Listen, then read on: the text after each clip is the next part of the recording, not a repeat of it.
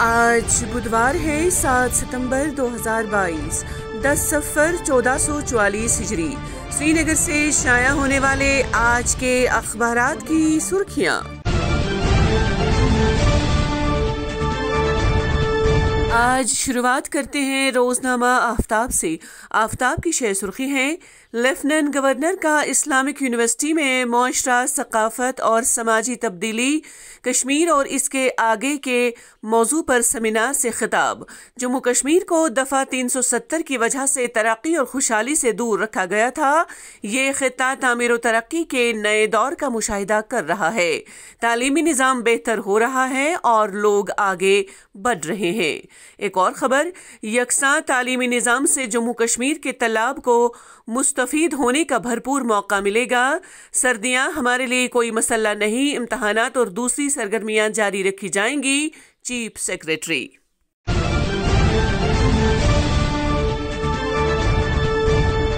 आज के रोजनामा कश्मीर उजमा से सुर्खी। कानून की जैली दफ़ा को 2015 में खत्म किया गया। आईटी एक्ट सड़सठ ए का बदस्तूर इतलाक। सुप्रीम कोर्ट के फैसले को चीफ सेक्रेटरियों तक पहुँचाने की हिदायत। एक और खबर एस आई ए की वादी भर में कार्रवाई। अवंतीपोरा, शुपया, पुलवामा, अनंतनाग और बारामुल्ला में छापे।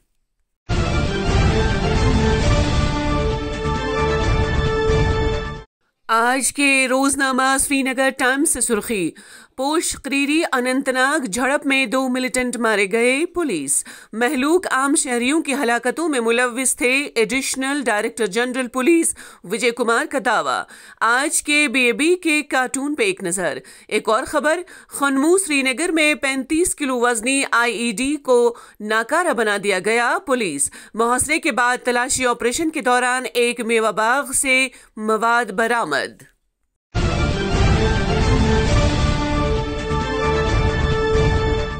आज के रोजनामा तामले इरशाद से सुर्खी। कोरोना के योमिया मामलात में मामूली इजाफा, अट्ठावन नए मरीज़, कोई अमवात नहीं। एक सौ अट्ठारह शिफायाब। वादी में इक्यावन और जम्मू में सिर्फ़ सात नए केसेस मजमू फाल मामलात सात सौ तैंतीस। एक और खबर, तजदीद जंग बंदी पर इतफाक के बाद अट्ठारह माह बाद सुकूत टूट गया। अरीना सेक्टर में बैन अवी सरहद पर गोलाबारी। सीज फायर खिलाफ वर्जी के बाद बी एस एफ़ और पाकिस्तानी रेंजर्स की फ्लैग मीटिंग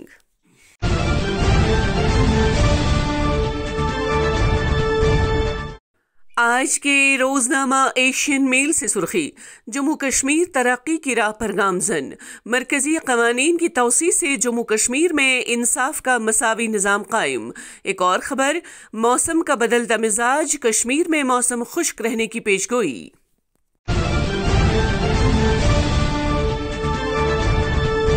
आज के रोजनामा श्रीनगर जंग से सुर्खी। दिल्ली से गाड़ियाँ चोरी करके कश्मीर में बेचने वाला ग्रोह बेनकाब, हिंदुस्तान का सबसे बड़ा कार चोर दिल्ली से गिरफ़्तार। 200 मामलों में नामजद कार चोर अनिल चौहान का मकामी मुतद सियासतदानों के साथ रबते में रहने का इंकशाफ एक और खबर, बड़गाम में हाई स्कूल तालिबात पोल्ट्री फार्म में बैठने पर मजबूर, सरकारी स्कूलों में बुनियादी ढांचे और लाजमी सहूलियात का फुकदान। हुक्काम की नज़रों से ओझल क्यों? सनी दारवन गाँव में नौ तामीर शुदा स्कूली इमारत पर ज़मीन मालिक मुआवजा न दिए जाने की वजह से काबिज।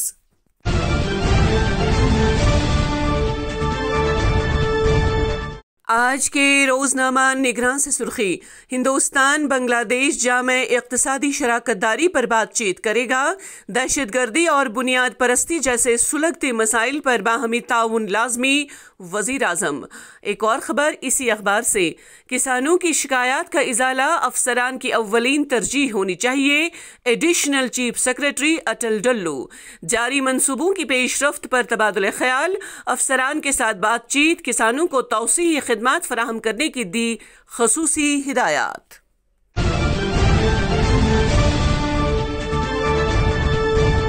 आज के रोजनामा घड़ियाल से सुर्खी।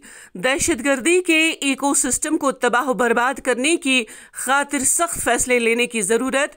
दहशतगर्दी से जुड़े अफराद के खिलाफ बड़े पैमाने पर क्रैकडाउन शुरू। एक और खबर, तीन दहाई बाद हज़रत कमरुद्दीन बुखारी रहमतुल्लाह अलैह का उर्स मुबारक की तकारीब अकीदत एहतराम से शुरू।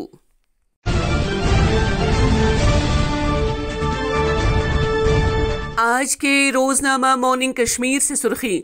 सेक्रेटरी सयाहत ने पीएमडीपी और कैपेक्स प्रोजेक्टों के कामों का तफसीली जायजा लिया। मुकर वक्त पर कायम रहने क्वालिटी कंट्रोल और फंड्स के मुनासिब इस्तेमाल पर ज़ोर।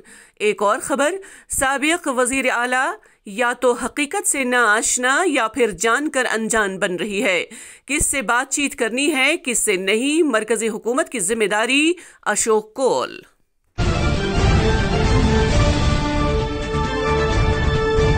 आज के रोजनामा श्रीनगर मेल से सुर्खी। लिखते हैं, गुलाम नबी आज़ाद के निकलने से पार्टी को कोई फ़र्क नहीं पड़ेगा। पार्टी स्टेट हुड नहीं, दाखिले खुद मुख्तारी की बहाली के लिए लड़ेगी सैफुद्दीन सोज़।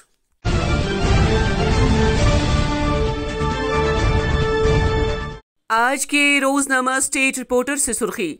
डीसी बडगाम ने लिया जियारत शरीफ, शेखुल आलम, रहमतुल्लाह अलैह चरार शरीफ पर जारी कामों की पेशरफ का जायजा, सेहत की सहूलियात का जायजा लेने के साथ सब डिस्ट्रिक्ट अस्पताल चरार शरीफ का भी मुआयना किया।